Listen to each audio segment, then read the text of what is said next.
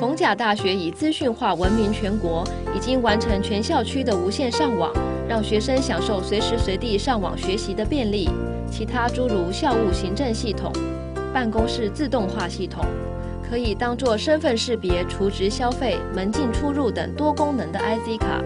提供高稳定性网络环境的 IDC 机房，多功能的校园资讯站，宽屏双向的电视台与校园新闻，以及图书馆数位自动借书系统等等，都是首开国内风气之先的创举。这样一个以人为核心、从生活开始的数位化环境，不仅使全校师生享有全资讯化的校园生活，也使逢甲大学的校务发展进入知识管理的层次。